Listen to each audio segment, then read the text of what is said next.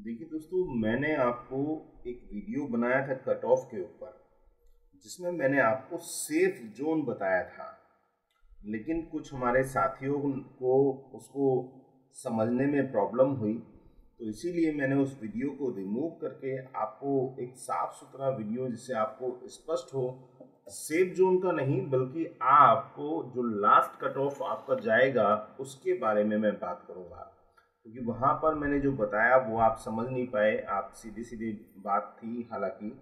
तो आइए इस वीडियो को मैं शुरू करता हूँ और आपको एक एक पॉइंट वाइज मैं आपको बताऊँगा कि कितना कट ऑफ़ हमारा जो है टी टीजीटी 2021 का सात अगस्त का जो एग्ज़ाम है, उसका जाने की उम्मीद है दोस्तों। तो आइए चलते हैं वीडियो की ओर, शुरुआत करते हैं। और यदि मैंने किसी की भावनाओं को ठेस पहुँचाई हो दोस्तों तो मैं क्षमा प्रार्थी हूँ। हालाँकि मेरा कोई ऐसा मकसद नहीं है। मकसद बस इतना है कि जो अपने एक्सपीरियंस हैं, उनसे मैं आपको सही तो उस वीडियो में मैंने जो कट ऑफ़ बताया था, वो सेफ़ जोन वाला कट ऑफ़ बताया था कि कितने नंबर पर आप 100 परसेंट एक सीट आपको मिल जाएगी। यहाँ पर हम एक विश्लेषण के साथ आगे बात करेंगे दोस्तों। तो आइए चलते हैं वीडियो की ओर। देखिए, सबसे पहले दोस्तों हम नंबर ऑफ़ पोस्ट की बात कर लेते हैं। टीजीटी इंग्लिश में नंबर ऑफ़ पोस्ट जो है दोस्तों, वो बालक वर्ग में जो है 1587 पोस्ट है दोस्तों, पंद्रह पोस्ट हैं, जो अपने आप में एक बड़ी पोस्ट है, कम पोस्ट नहीं है। बहुत पोस्ट होती हैं दोस्तों, पंद्रह आप देखेंगे कि इससे पिछली जो वैकेंसीज होंगी, उसमें आपको जो पोस्ट हैं नंबर ऑफ़ पोस्ट हैं, वो कम मिलेंगी और उसके बाद भी काफ़ी अच्छे लोगों ने सिलेक्शन उसमें लिए हैं। इसमें अगर हम डिवाइडेशन की बात करें तो जनरल में 913 सीट हैं ओबीसी में 445 हैं दोस्तों और एससी में 226 हैं और एसटी में तीन सीटें हैं। ऐसे ही दोस्तों अगर हम बालिका वर्ग की बात करें तो एक सौ छियानवे पोस्ट हैं 113 पोस्ट ओबीसी जनरल में और ओबीसी में 40 और उसके बाद सैंतीस और ज़ीरो तो ये जो पोस्ट है दोस्तों टोटल अगर हम पोस्ट की बात करें बालक वर्ग में इतनी पोस्ट हैं तो ये पंद्रह सतासी पोस्ट कम नहीं होती हैं दोस्तों बहुत पोस्ट हैं। अगर हम इम्पोर्टेंट क्रीम क्रीम वाले बच्चे भी निकाल लें जो बहुत ही समझ लीजिए कि 125 में से 110, 115, 120 क्वेश्चन करके आएँगे तो दोस्तों उनकी संख्या मैक्सिमम और मैक्सिमम आपको बता दूँ, तीन से साढ़े साढ़े तीन सौ स्टूडेंट ऐसी ऐसी संख्या होती है। तो आइए आगे बात करते हैं दोस्तों। पूरा पॉइंट आपको समझाऊँगा। अब देखिए दोस्तों, दूसरा इंपॉर्टेंट फैक्ट है जो मैंने आपसे कहा था, ये डिपेंड करता है एग्ज़ाम के ऊपर।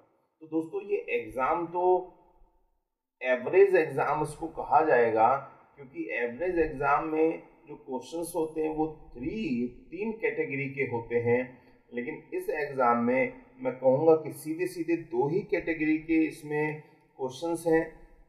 एक क्वेश्चन हैं दोस्तों इजी क्वेश्चन और एक क्वेश्चन हैं जो बिल्कुल भी पढ़े हुए नहीं है, चौंका देने वाले क्वेश्चंस हैं।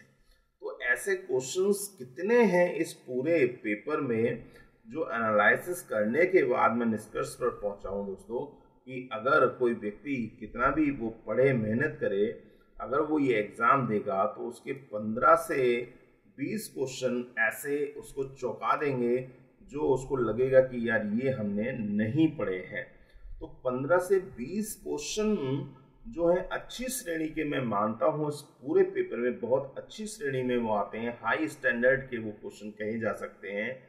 तो ऐसा पेपर आना अपने आप में एक अलग चीज़ है कि 15 से 20 क्वेश्चन अच्छे स्टैंडर्ड के और बाकी सारे एक ही कैटेगरी के।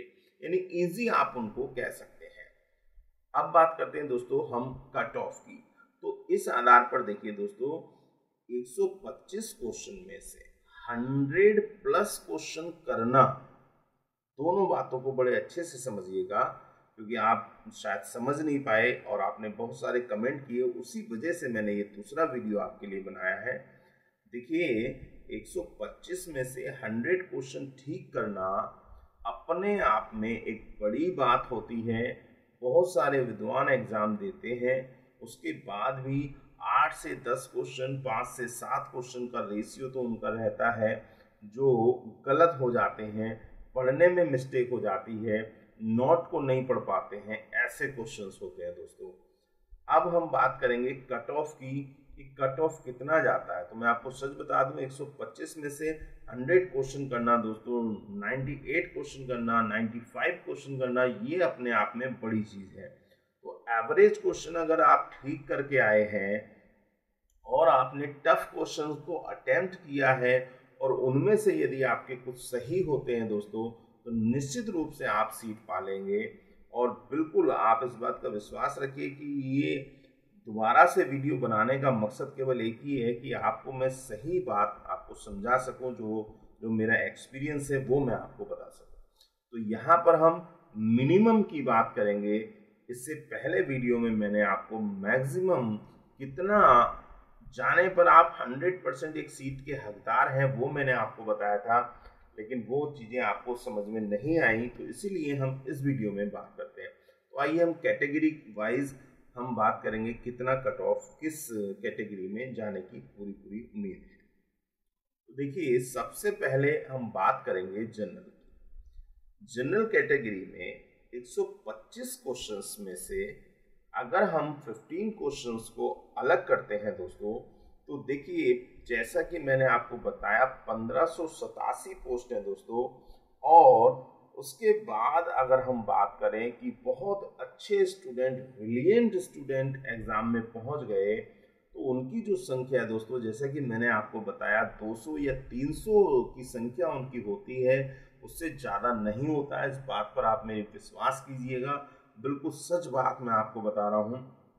कितना भी आप सर्कल ढूंढ लीजिएगा जब एग्जैक्ट कंडीशन निकल के आती है ना दोस्तों जब ओरिजिनल आंसर की निकल के आती है ना देखिए कहने को कोई कुछ भी कह ले मेरे 110 ठीक है 114 ठीक है 115 ठीक हैं लेकिन जब एग्जैक्ट कंडीशन निकल के, के आती है आंसर की के साथ जो ऑफिशियल आंसर की होती है तब आप देखेंगे कि वो रेशियो थोड़े से घटते हैं। बिल्कुल और वास्तविकता कहीं और कुछ और होती है। तो जनरल कैटेगरी में अगर आपके 98 क्वेश्चंस दोस्तों बिल्कुल ठीक हैं तो आप सुरक्षित हैं, आपको एक सीट निश्चित रूप से मिल जाएगी। यहाँ पर एक चीज़ आप ज़रूर ध्यान रखिएगा दोस्तों, ये अनुमानित है, ये कोई एग्जैक्ट नहीं है। मैंने प्रयास किया है आपको, जो नज़दीकी हो वहाँ तक ले जाने का। तो इसमें दो अंक का दो से तीन अंक का रेशियो आप लेकर के चल सकते हैं, यानी इतना अप एंड डाउन हो सकता है। जनरल कैटेगरी में 98 अचीव करने वाले को मैं कहूँगा कि 100 परसेंट उसकी सीट जो है दोस्तों, वो सिक्योर है। कि अगर उसने मान लीजिए 115 वाले 109 वाले 110 वाले अगर बंदे हैं तो वो ज़्यादा से ज़्यादा कितने होंगे 100 200 300 400 500 बहुत होता है दोस्तों, बहुत होती है संख्या, बहुत अच्छी संख्या है सीट की। अब इसके बाद अगर दोस्तों बात करें ओबीसी कैटेगरी की, क्योंकि ओबीसी वाले जनरल वालों की सीट भी लेते हैं दोस्तों तो ओबीसी वालों का जो कट ऑफ़ है, जो मिनिमम मैं कहता हूँ 94 से वो 94 अगर क्वेश्चन उनके बिल्कुल 100 परसेंट एग्जैक्ट है।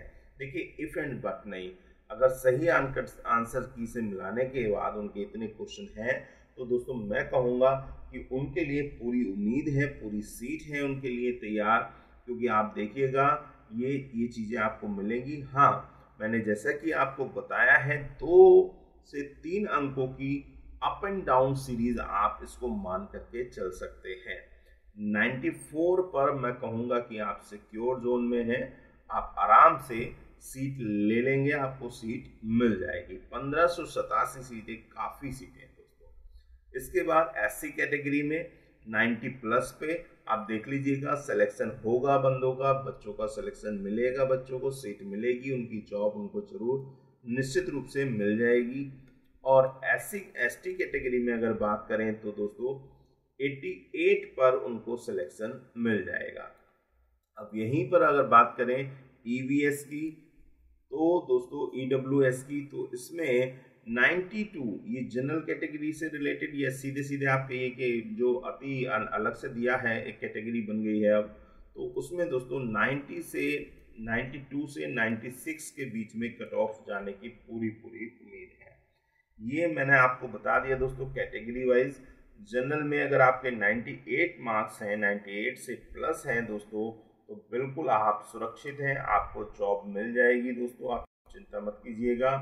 ओबीसी में 94 प्लस 95 प्लस है तो आपको सीट निश्चित रूप से मिल जाएगी।